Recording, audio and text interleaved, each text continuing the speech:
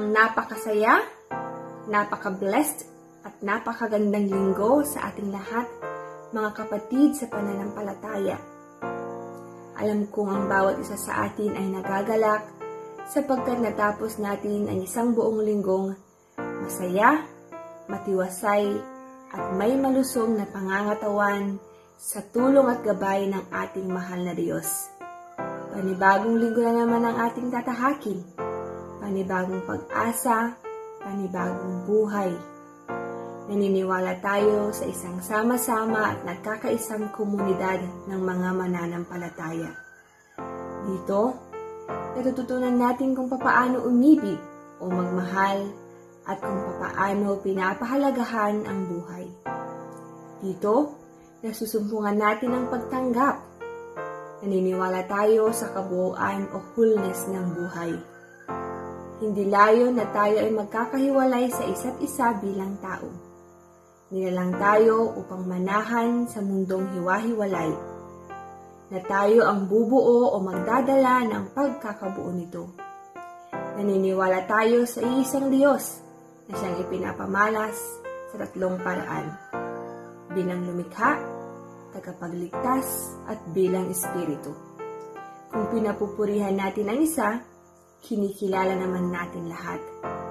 Sa panahong tayo ay nababagabag, tinutugon tayo ng Diyos. Naniniwala tayo sa agos ng buhay, mula pagsilang at kamatayan, patungo sa buhay na walang hanggan. Hindi natin maaabot na maunawaan ang hiwaga ng buhay mula sa Diyos. Ngunit nakikatitiyak tayo na ang Diyos ay nasa sa atin.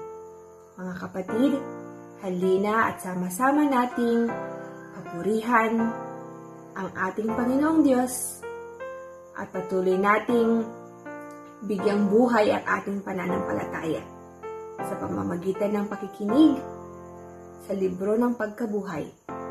Ang ating tema, Wait Patiently, Maghintay ng May Katiagahan.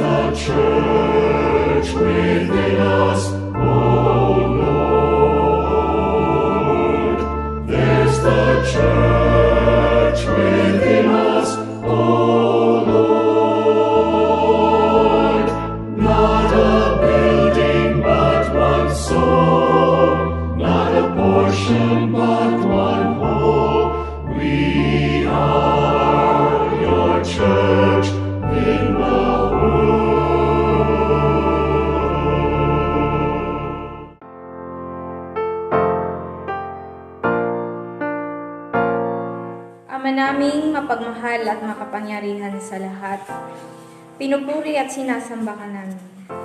Kami po ay taus-pusong nagpapasalamat sa araw na ito. Maraming salamat po sa panibagong araw na iyong ipinagkaloob sa amin. Panginoon, batid namin ang aming kakulungan. Patawad po sa aming mga nagawang pagkakamali. Salamat, Panginoon, sa panguunawa mo sa amin at sa lahat ng biyayang ipinagkaloob mo. Ito po ang aming samo at dalangin sa matamis na pangalan ni Jesus. Amen.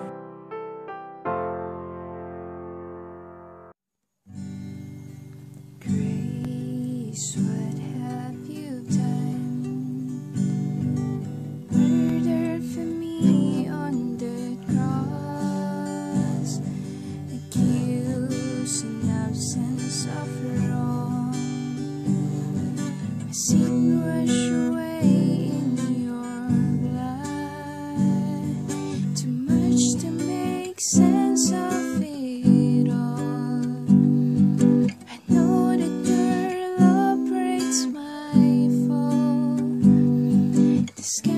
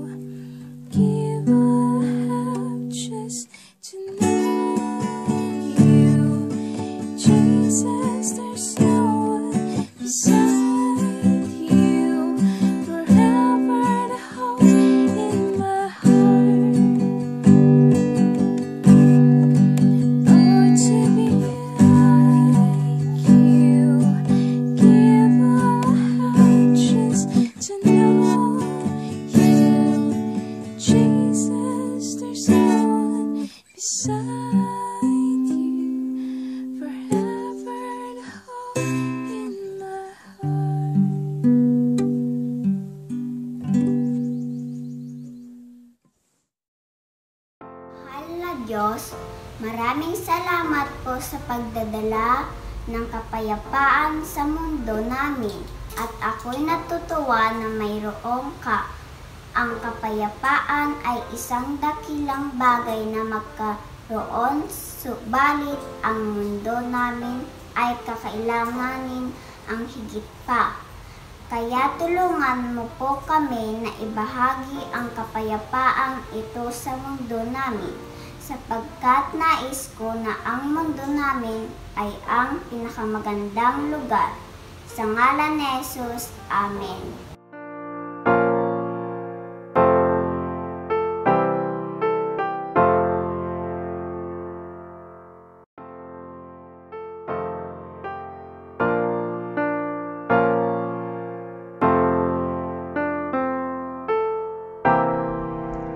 Magandang umaga po sa ating lahat mga kapatid. Purihin ang Diyos sapagkat tayo ay patuloy na binibiyayaan ng kalusugan at pagkakataon upang magbahagi sa inyo ng Ebanghelyo sa umagang ito. Gayon din na natutuwa tayo dahil ang tema sa ngayon ay marahil naaangkop sa karamihan sa atin at sa galagayan ng ating mundo. Ang ating pong tema ay Wait Patiently o tiyagain natin ang paghihintay o matyaga tayong maghintay ito ay isang tema na napakalaga para sa atin bilang mga alagad ni Kristo. Tulad ng mga naunang alagad, marami ang uh, nabagot, marami ang nainip sa kanilang paghihintay. Bilang mga alagad, ano nga ba ang ating hinihintay? Tulad ng ipinangako ng Diyos sa atin, ang ating mundong ginagalawan sa ngayon ay temporary lamang dahil meron siyang inihandang dihamak na mas maganda dahil ang kanyang tunay na kaharian, ito ang kanyang inihanda para sa atin. Yun po, mga kapatid, ang ating pinaka, pinakaabangan sa ating paglalakbay sa ating pananampalataya.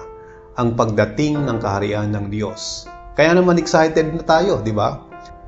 So bago tayo magpatuloy, alamin muna natin kung paano sinagot ni Jesus ang apat sa kanyang mga alagad ng palihim na tinanong ni Jesus o tinanong nila si Jesus kung kailan mangyayari ang pagguho ng isang matatag na templo na kung saan ginamit ito ni Jesus bilang talinghaga sa dapat na maging kalagayan natin bilang kanyang mga alagad.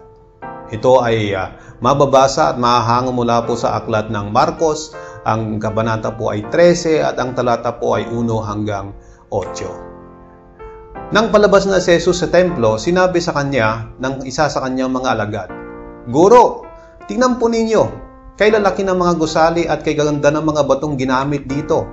Sumagot si Jesus, Nakikita mo ba ang naglalakihang gusaling iyan? Wala riyang matitira sa magkakapatong na bato. Ang lahat ay guguho habang nakaupo si Jesus sa bundok ng mga olibo, sa may tapat ng templo, palihim siyang tinanong ni na Pedro, Santiago, Juan at Andres, Kailan po ba mangyayari ang mga bagay na ito? At ano po ba ang palatandaan na ang lahat ng ito ay malapit ng maganap? Sinabi sa kanila ni Jesus, Mag-ingat kayo upang hindi kayo malinlang dinuman. Maraming lilitaw at magpapanggap na sila ang Kristo at ililigaw nila ang marami. Huwag kayong mababagabag kung makakabalita kayo ng mga digmaang malapit sa inyo at mga digmaang malalayo sa inyong lugar. Dapat mangyari ang mga ito, ngunit hindi pa ito ang wakas sapagkat makikipagdigma ang mga bansa laban sa kapwa bansa at ang mga kaharian laban sa kapwa kaharian. Lilindol sa iba't ibang dako at magkakaroon ng mga taggutom. Ang mga ito ay pasimula pa lamang ng paghihirap tulad ng nararanasan ng isang nanganganak. Sa mga talatang ito, mga kapatid, natunghayan natin o nakita natin kung papaano pinapaalalahanan ni Jesus ang kanyang mga alagad, maging noon sa mga bagay na maaaring nakakadistract sa kanilang focus sa kanilang misyon. Maaring ang kanilang mga nakikitang naglalakihang mga gusali, templo, nagawa sa bato ay isa lamang sa mga nakakalinlang ng kanilang atensyon na tulad ng mga naunang nauna na niyang binanggit sa kanila noon. Sa kanilang paglalarawan sa gusali ng templo, kung ito ay gawa sa napakagandang napakagandang mga bato at nag, napakalalaki na kung pagbabatayan din natin ang paglalarawan ng mga mananaliksik ang mga bato raw ay, ang mga batong ito raw ay umaabot hanggang isandaang tonelada. At may mga haba pa raw ito na mga umaabot ng 45 talampakan. So ganun po kalalaki ang mga batong ito. Ngunit sa kabila, sa kabila nito, nais ni Jesus na maintindihan nila kung gaano katibay ang pagkakagawa ng templo ay guguho pa rin ito. Sabi ng ilan sa mga alagad na ito, ito daw ay warning sa gagawin ng Diyos na paghahatol. Ilan din sa kanila ay may kulang ito ang darating na katapusan ng mundo. Sa mga nangyayari ngayon sa ating paligid kung saan nandiyan ang mga iba't ibang kalamidad kasama na ang pandemyang ating kasalukuyang nararanasan o nananalasa sa ngayon.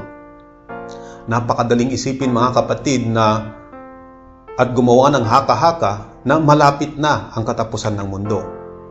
Subalit sa mga talatang ating natunghayan at sa mga susunod na bahagi pa nito, ipinapaalala rito o pinapaalala nito na kung saan tayo dapat nakatuon at hindi sa mga pangyayaring ating nakikita sa ating paligid na nagbibigay sa atin ng pag-aakalang malapit na ang katapusan. Pinapalalahanan po tayo na dapat ang ating focus ay ang pagpapalaganap ng magandang balita sa lahat ng tao at sa pamamagitan ng kapangyarihan ng Espiritu Santo. Ito ang ating misyon at huwag natin ituon ang ating atensyon sa o malinlang sa mga naglalakihang gusali o templo o simbahan. Sa halip, ang ating atensyon ay dapat nasa pagpapatibay ng ating pananampalataya na kung saan ang bunga nito ay ating paggawa ng mabuti sa ating kapwa.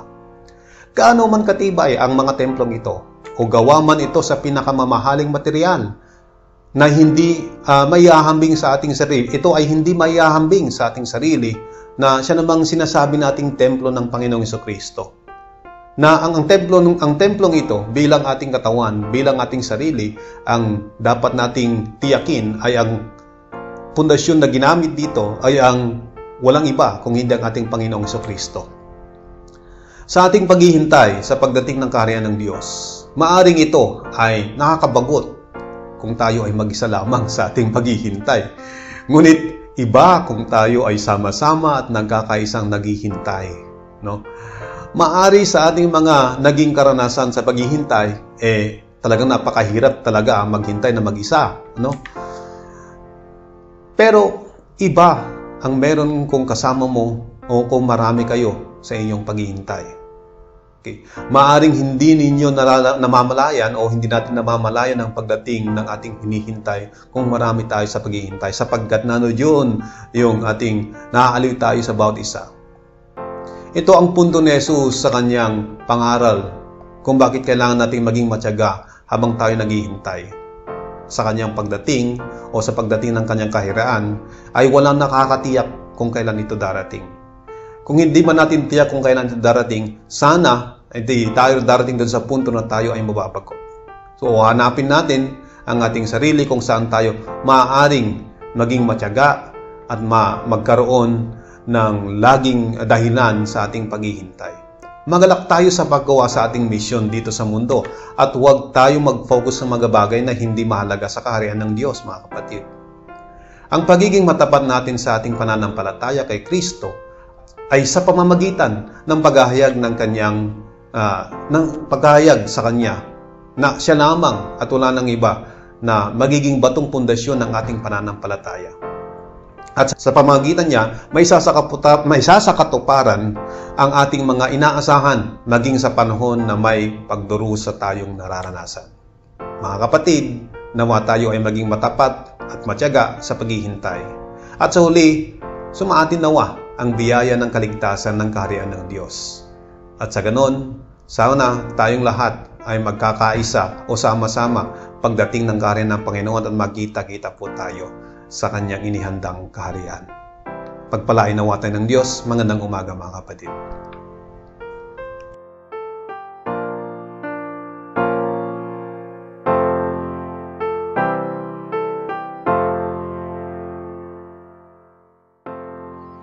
Ang pagbabahagi ay hindi lamang sa pamamagitan ng salapi o pinansyal.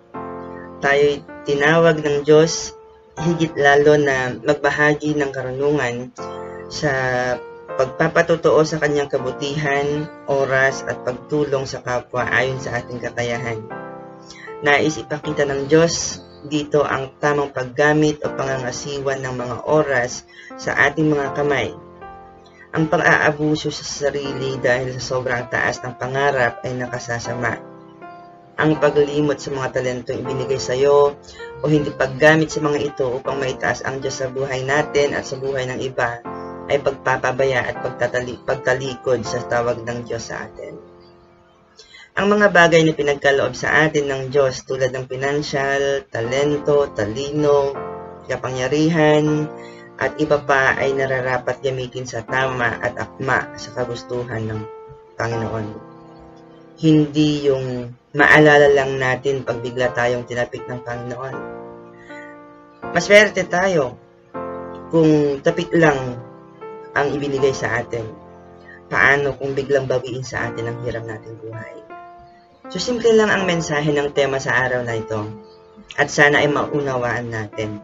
Ito ay ang paggamit natin sa anumang handog o yung gifts na sinasabi or talento at ang mga resources na binigay sa atin ng Panginoon na may angkop na paggamit at pangangalaga upang magsilbi itong inspirasyon, magsilbing kalakasan at mabuting halimbawa na pamamarisan ng ibang tao upang maipalaganap natin ang pag-ibig ng Diyos sa bawat isa at sa ibang tao.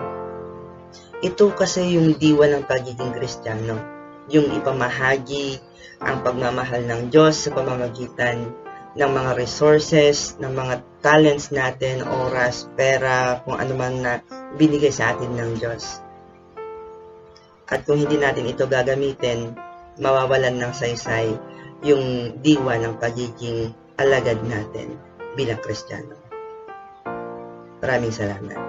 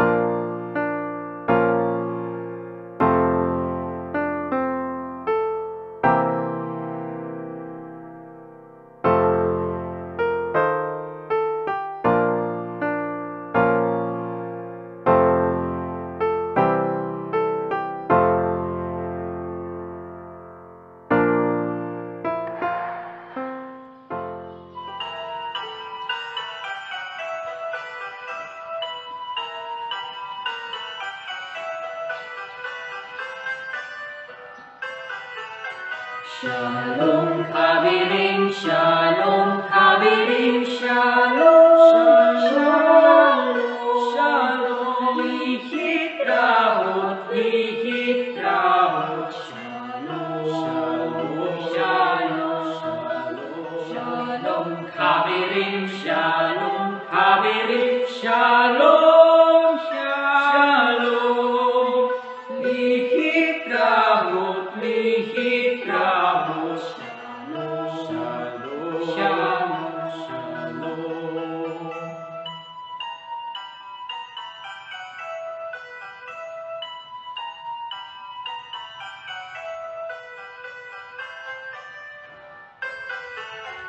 Goodbye, my friends. Be safe, my